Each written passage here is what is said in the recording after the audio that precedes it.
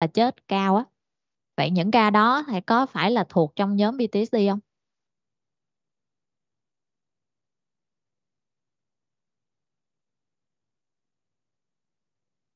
À, một bạn lắc đầu không? Thì người ta cho rằng những bệnh nhân được chuẩn đoán ung thư á, không phải trong nhóm PTSD PTSD là một cái tình huống đột ngột xảy ra hoặc là một tình trạng y khoa mang tính chất cấp cứu tức là ca đó sao? Bị tai nạn xong vô bệnh viện à, hoặc là ca đó phải hồi sức ICU à, thì những tình trạng cấp cứu như vậy á, mới là mới là thuộc nhóm sang chấn à. rồi.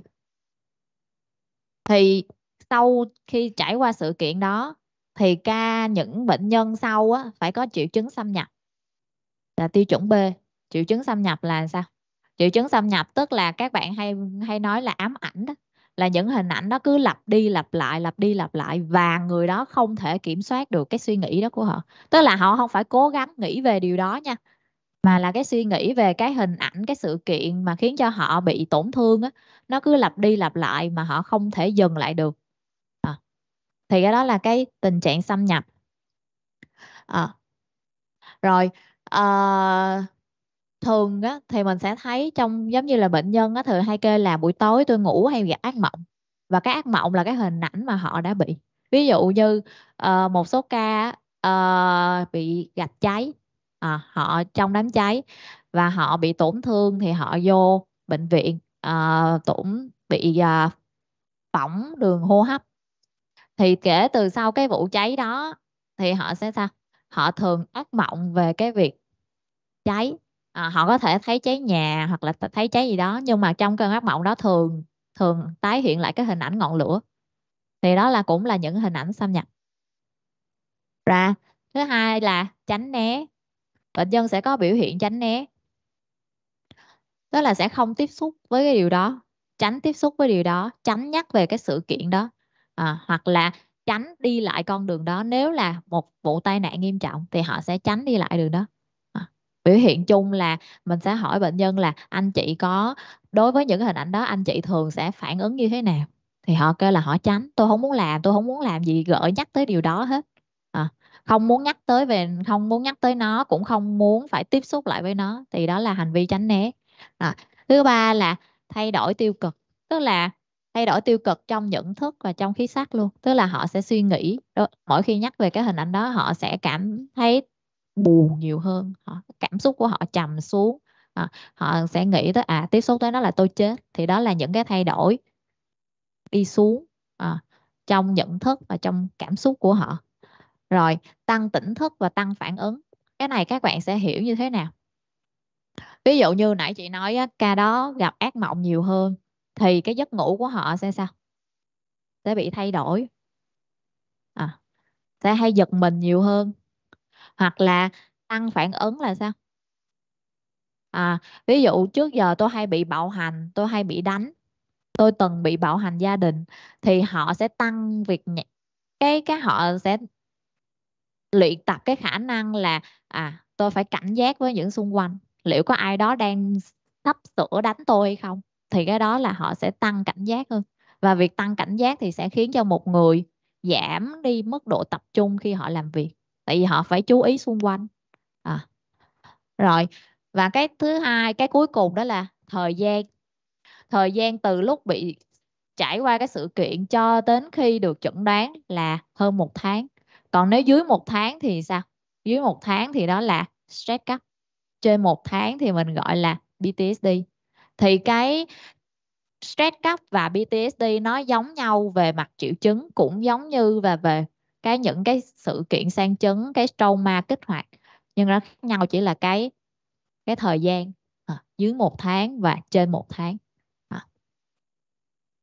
rồi.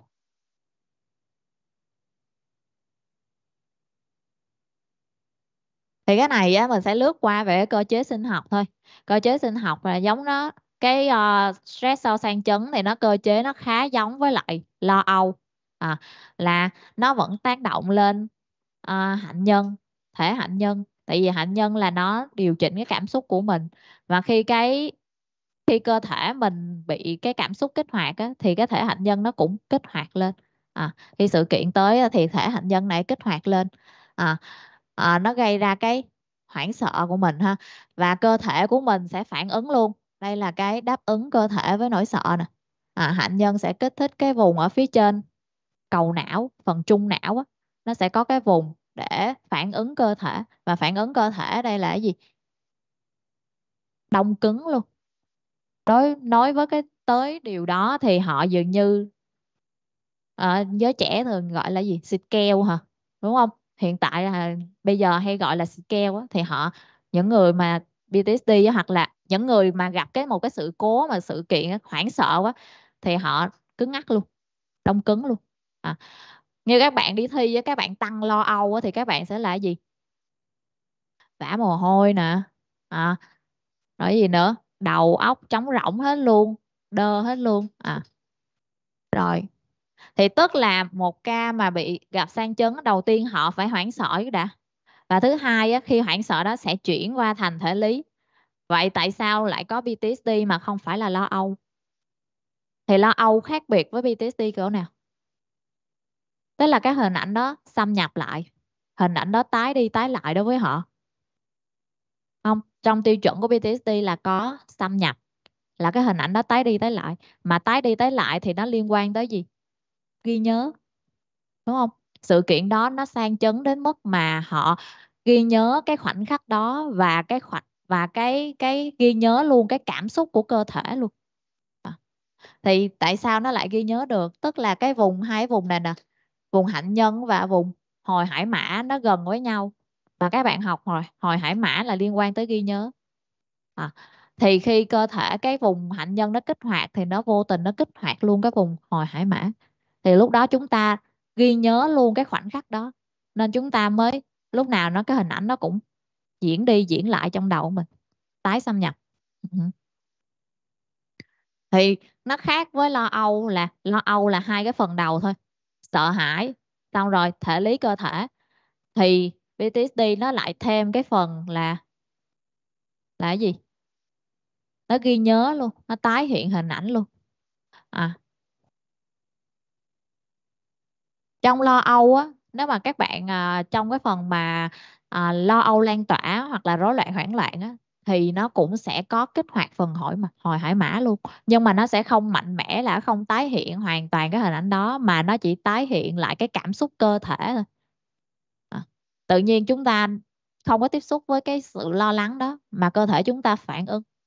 À, thì cái phần đó mình học trong cái phần rối loạn lo âu ha. À, cái hình này là sẽ tổng hợp lại hết triệu chứng của PTSD thì PTSD sẽ thứ nhất là cái gì? Lo âu, lo lắng quá mức. À và tái trải nghiệm. À cái hình ảnh nó xâm nhập, lặp đi lặp lại ha. Rồi, tiếp theo thì cái cái việc lo âu, lo lắng quá mức nó sẽ ảnh hưởng gì chúng ta? Nó sẽ khiến cho chúng ta khó ngủ. Giấc ngủ tất nhiên sẽ bị thay đổi rồi. Rồi, chúng ta sẽ gì? Sẽ kích động nếu mà cái hình ảnh đó lặp đi lặp lại. Tại vì cái nó lặp lại các khoảnh khắc hoảng sợ của chúng ta thì chúng ta sẽ kích động. Kích động thì chúng ta sẽ né tránh. À, nó cứ vòng tròn như vậy. À, thì cái hình này là nó tổng hợp của các triệu chứng uh, chung nhìn chung của PTSD còn mình nếu mình muốn rõ hơn chi tiết hơn thì mình có thể đọc trong cái phần miêu tả đặc điểm triệu chứng ở trong cuốn PTSD uh, ờ, trong cuốn ờ, uh, DSM-5 á. Nó sẽ chi tiết rõ hơn là à sự kiện gì có thể kích hoạt cái PTSD có thể thôi nha. À, chứ không phải là một trăm phần trăm là sau khi tôi đã bị lạm dụng à, hoặc là sau khi tôi đã bị bạo hành hoặc là sau khi tôi trải qua một cái ranh giới sống chết thì tôi sẽ bị PTSD à. rồi về phần chẩn đoán phân biệt. Chẩn đoán phân biệt thì mình sẽ chẩn đoán PTSD với gì? Đầu tiên là nhóm trong nhóm nó trước đã đó là stress cấp. Hồi nãy chị có nói rồi stress cấp với PTSD á tiêu chuẩn nó giống nhau lắm. Triệu chứng mà khởi phát nguyên nhân nó cũng giống nhau lắm. À, nhưng một số người à tôi chỉ bị một tháng xong tôi hết. Có một số người là ờ, uh, 6 tháng tôi mới bắt đầu có những triệu chứng như vậy. À, thì nó khác nhau về thời gian. Nếu mà tôi bị một tháng trong vòng một tháng tự nhiên tôi lui thì cái đó gọi là stress cấp à, và thường á uh, trong cái hướng dẫn điều trị á, thì cái stress cấp á, thường người ta cũng không cần phải điều trị vì nó sẽ tự lui. À, còn trường hợp nếu bệnh nhân quá mẫn cảm đi quá khó khăn trong cái khoảng thời gian đó thì mình điều trị triệu chứng thôi. À, PTSD á, thì có thể là một tháng hơn một tháng hoặc là có thể là trong trường hợp PTSD mà muộn thì là 6 tháng họ mới mới bị hoặc là 12 tháng sau cái sự kiện đó họ mới bị. Miễn là họ đáp ứng đủ tiêu chuẩn là xâm nhập né tránh. Hỏi gì nữa? Xâm nhập né tránh rồi gì nữa mấy đứa?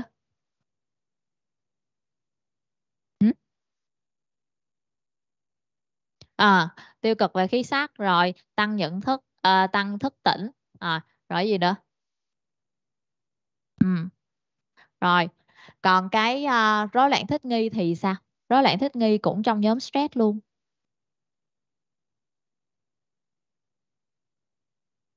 Rối loạn thích nghi á, thường á, nó sẽ có là rối loạn thích nghi thể trầm nè rối loạn thích nghi thể lo âu nè rối loạn thích nghi thể PTSD thì sau khi các bạn nghe xong những cái chẩn đoán như vậy các bạn nghĩ rối loạn thích nghi nó sẽ như thế nào? Ở đây ai thất tình rồi? Ờ, à, khi các bạn thất tình đúng không? Các bạn uh,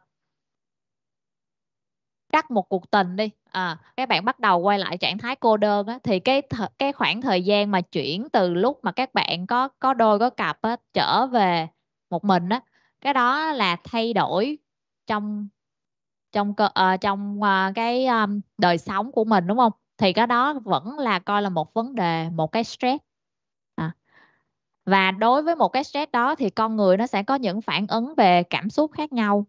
À nhưng mà các bạn chưa có đủ để các bạn gọi là buồn.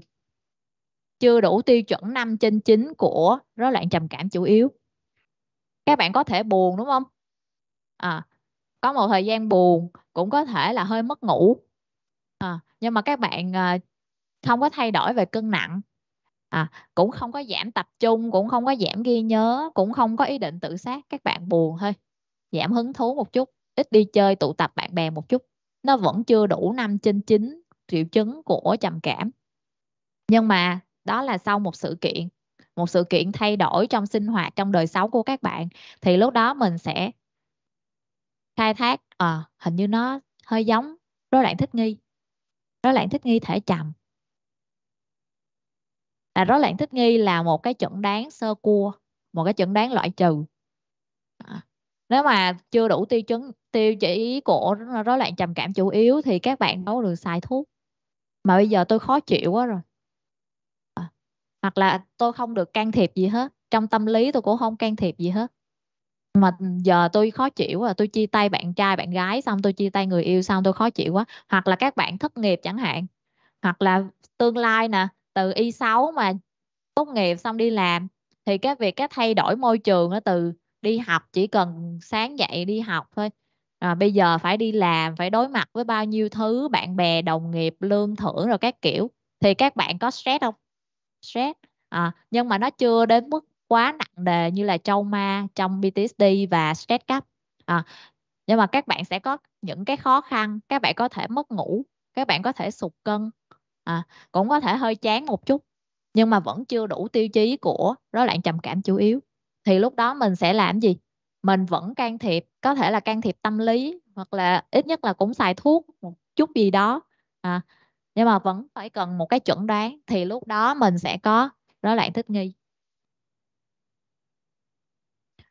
À, là chưa đủ tiêu chuẩn của rối loạn lo âu lan tỏa. Chưa đủ 6 tháng thì sao chuẩn đoán rối loạn lo âu lan tỏa được thì rối loạn thích nghi được đưa ra. Tức là khi các bạn có một cái sự thay đổi nào đó trong cuộc sống một cái vấn đề nào đó trong cuộc sống mình cái gì cũng là có thể coi là stress hết. Ví dụ như một đứa trẻ mới đẻ ra thì cái việc từ bụng mẹ mà ra đời là cũng một cái stress. Và trong tâm lý á, người ta cho rằng cái việc khóc của đứa trẻ khi mà ra đời á, là cái phản ứng cơ chế phòng vệ của đứa trẻ đó. Tại vì nó stress quá tự nhiên nó đang trong bụng mẹ nó đang bơi thoải mái cái lọt thẩm ra ngoài bây giờ phải đối mặt bao nhiêu con người đang nhìn nó thậm chí còn vỗ mông nó nữa thì nó sẽ khóc à thì cái đó là một cái stress của đứa trẻ đó à. thì nó vẫn là cái gì nó cũng có gọi là chỉ cần thay đổi là có thể gây ra stress cho con người à. có thể đối với mình cái vấn đề đó nhỏ thôi nhưng mà đối với người khác á, à chắc chắn có thể là nó vấn đề nó lớn thì lúc đó có thể là người đó sẽ bị trầm cảm hoặc bị lo âu. Tùy mỗi người ha. À, có thể vấn đề đó đối với mình là nhỏ thôi nhưng đối với người ta có thể là trauma và người đó cái cơ chế của họ là dễ bị PTSD hoặc là đối với người mình là các cái chọi sự kiện đó kinh khủng quá bị hãm hiếp nhiều quá bị nhiều người hãm hiếp quá. À cái cái đó là có thể là chắc chắn là bị PTSD nhưng mà đối với người khác á, có khi là không tôi thấy cũng bình thường. À, thì họ sẽ không bị PTSD mà họ sẽ có thể là có vấn đề khác vấn đề tâm lý khác. À rồi rối loạn lo âu và rối loạn ám ảnh cưỡng chế. Thì cái rối loạn lo âu tại sao nó lại đề lại đề ra đây? Rối loạn lo âu và rối loạn ám ảnh cưỡng chế tại vì nó nó giống với một triệu chứng là gì? Triệu chứng gì? Triệu chứng gì trong PTSD ừ xâm nhập. Tại vì cái hình ảnh đó ờ, nó cứ hiện đi hiện lại. Và thứ hai là tăng cảnh giác. À, trong lo âu sẽ có tăng cảnh giác. Bạn lo lắng xung quanh có gì đó. À, cứ hay giật mình quay lại. Bạn nhạy cảm với tiếng ồn hơn. Chỉ cần tiếng ồn nhỏ thôi bạn cũng dễ giật mình. Thì cái đó bạn đang tăng cảnh giác với điều đó. À, thì nó lại giống với lo âu. À, đó là ám ảnh cưỡng chế. Cái hình ảnh cứ lặp đi lặp lại lặp đi lặp lại tái diễn trong đầu bạn mà bạn không thể tự chủ được không thể tự ngắt cái hình ảnh đó được. À. rồi rối loạn trầm cảm chủ yếu. À, cảm xúc tiêu cực nè. Tiêu cực trong nhận thức trong cảm xúc thì nó hơi giống với rối loạn trầm cảm chủ yếu. À. đối với một sự kiện có khi họ không bị PTSD, PTSD sau khi bị uh, bạo hành hoặc là sau khi chứng kiến người thân mất ngay trước mặt mình luôn có khi họ không bị PTSD mà họ lại bị trầm cảm. Họ cảm thấy tội lỗi, thì tại sao ờ, tôi không thể cứu họ? Tại sao tôi ở gần họ như vậy mà tôi không cứu họ được? À. thì họ lại, lúc đó họ không bị PTSD mà họ lại bị trầm cảm cảm thấy tội lỗi và muốn chết theo người đó.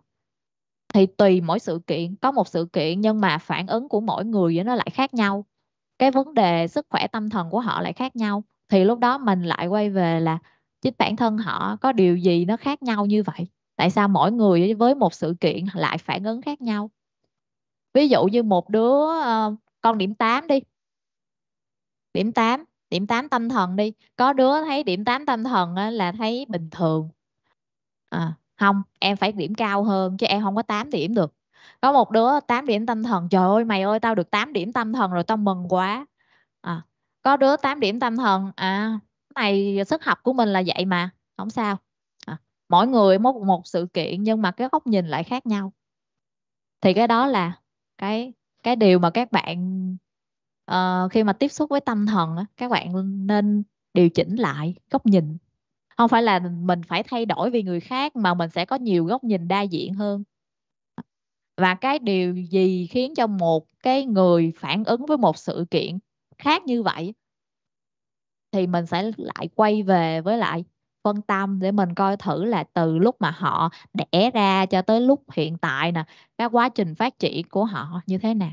Lúc họ đi học á, việc mà nhận con điểm 8 đối với mình nó như thế nào? Và cái con điểm 8 đó nó tác động gì đó với một người?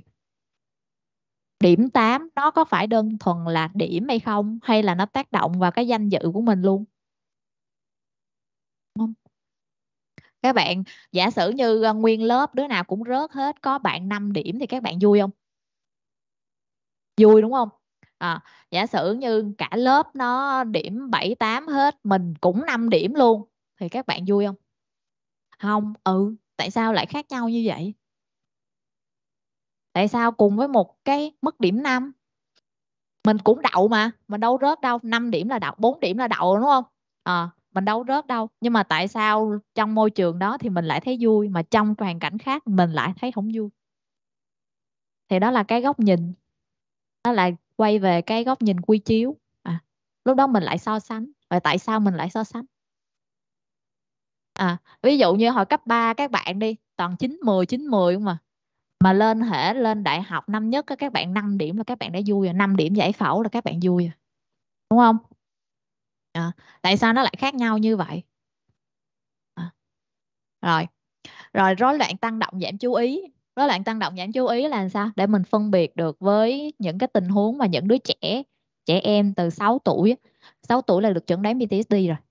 Thì những đứa trẻ 6 tuổi đó nó vẫn còn trong độ tuổi để được chẩn đoán là rối loạn tăng động giảm chú ý. À. thì các bạn rối loạn tăng động giảm chú ý thì chỉ nói sơ thôi. Các bạn sẽ học ở trong phần rối loạn của trẻ rối loạn tăng động giảm chú ý là nó có ba thể. Một thể là tăng động, tức là đứa trẻ nó sẽ biểu hiện sao? Nó sẽ ngồi ở đây nè, nó khều qua đứa bên này, nó khều qua đứa bên kia. Rồi, trong giờ học á, cô giảng thì kệ cô giảng, nó nói chuyện là nó nó nói chuyện, nó chơi là nó chơi, nó không có ngồi yên được. Cô giảng bài nhưng mà nó vẫn cứ chạy lung tung, nó chạy ra đường, rồi nó chạy ra sân trường, rồi nó chạy qua bạn này, chạy qua bạn kia, là rối loạn tăng động. Ừ. giảm chú ý là làm sao? Giảm chú ý là nó không thể tập trung vô cái bài được, hoặc là tập trung vô một ai đó nói chuyện được. Ví dụ như bạn A, bạn B nói chuyện với nhau thì hai đứa phải nhìn mặt nhau mà nói, đúng không? Nhưng mà đứa này thì không. Nó vừa dứt câu với bạn A xong là nó sẽ quay qua nó nói chuyện với bạn B. À. hoặc là nó đang nói chuyện, chỉ hai hai đứa đang nói chuyện với nhau thôi, nhưng mà nó sẽ không tập trung vô câu chuyện được. Nó sẽ nhìn qua bên này, nó nhìn qua bên kia, nó nó rờ cái này, nó rờ cái kia. Để là giảm chú ý hoặc là thể cả hai luôn tăng động giảm chú ý là thể hỗn hợp. Rồi rối loạn nhân cách. À, nhân cách thì mình học bài nhân cách sau mình sẽ tìm hiểu ha. À, rối loạn phân ly. À, phân ly giống này là nó lại giống với lo âu nó tái xâm nhập. Ừ. ừ. à, loạn thần hoặc là tổn thương não do chấn thương. Tổn thương não do chấn thương là thường mình sẽ phân biệt ở những bệnh nhân mà uh, bị tai nạn bị chấn thương não thì những bệnh nhân đó cũng sẽ có một vài triệu chứng loạn thần. À, thì mình sẽ phân biệt liệu ca đó có PTSD kèm theo hay không.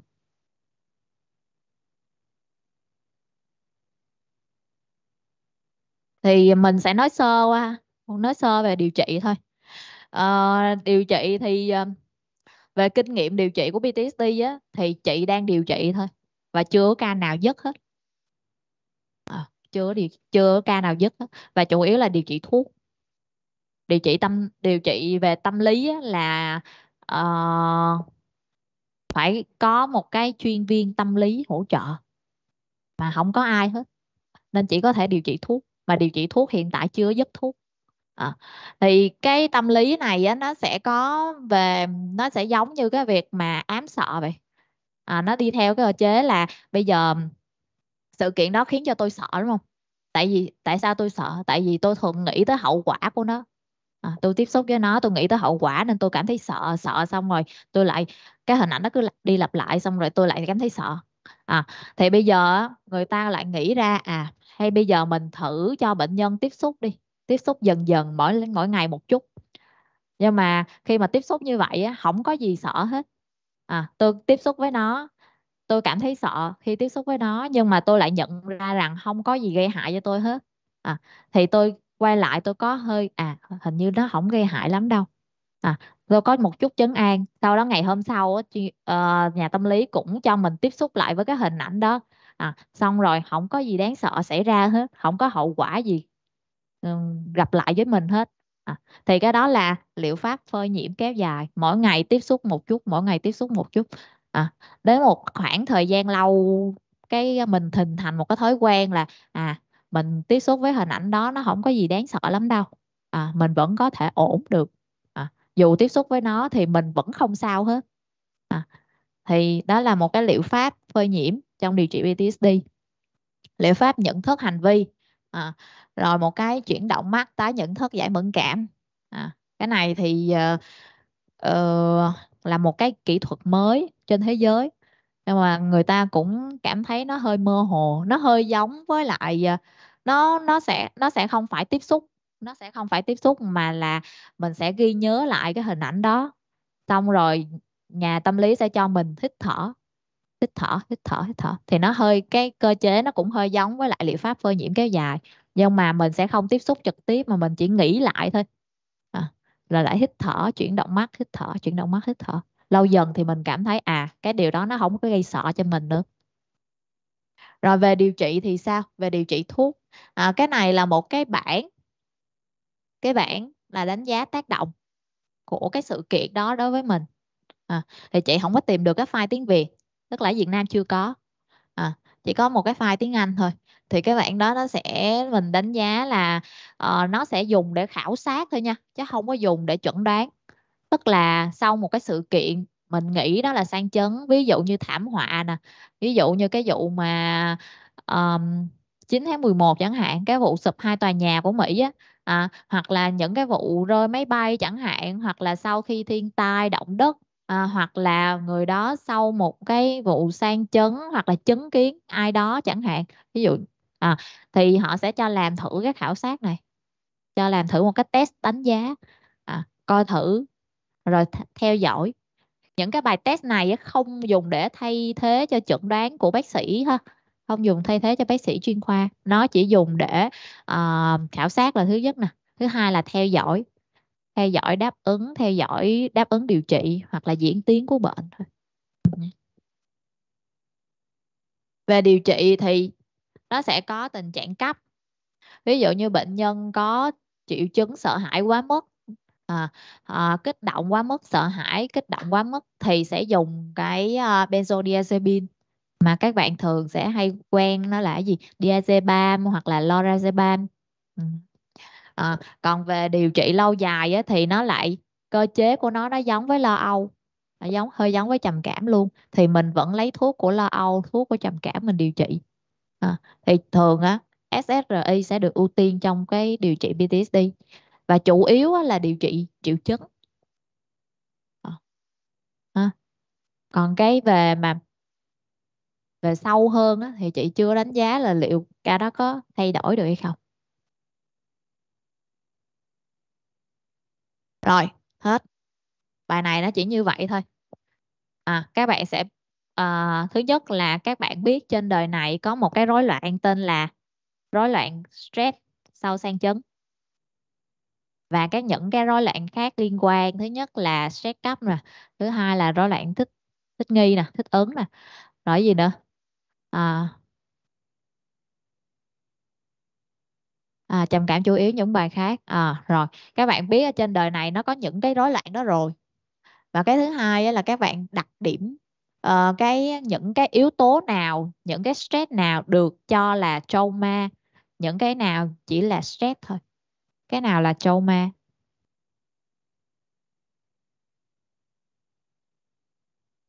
Nguy hiểm. Thứ nhất là nó phải nguy hiểm.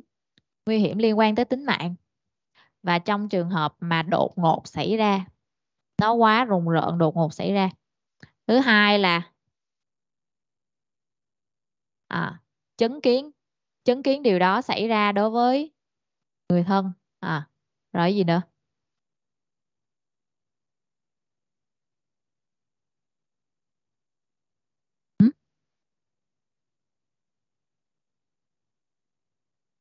Nè, sau cái bài này á, mình sẽ tìm hiểu, mình sẽ đọc kỹ lại ha. Nãy giờ chị nói nhanh, chị nói lướt qua cho hết bài. Thì sau cái bài này, các bạn lục lại cái trong DSM-5 á, những cái sự kiện nào được cho là trauma? Những sự kiện nào có thể kích hoạt PTSD à thì thứ nhất là nó liên quan đến ranh giới sống và chết rồi, đúng không? Rồi, thứ hai là những cái sự kiện mà liên quan tới lạm dụng bị bạo hành bị lạm dụng.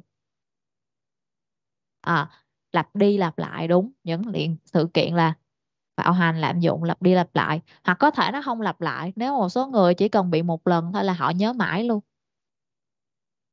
Rồi rồi gì nữa? Những cái thiên tai. À, trải qua những cái thiên tai. Rồi gì nữa?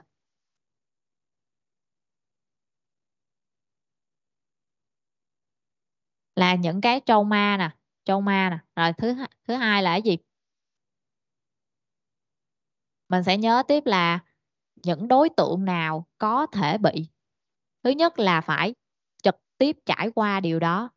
Những người trực tiếp trải qua điều đó. Thứ hai là những người chứng kiến gần cái sự kiện đó. À. thứ ba là chứng kiến người thân của họ bị cái điều đó. Và thứ tư là những người tiếp xúc gần và tiếp xúc liên tục với những hình ảnh tư liệu à, văn hóa phẩm mà liên quan tới những hình ảnh đó. Đó là những đối tượng dễ bị PTSD à, sau một cái sang chấn. Rồi. Rồi thứ ba thứ ba các bạn cần phải nắm là gì? Là những biểu hiện những triệu chứng cần có của một người bị PTSD là gì?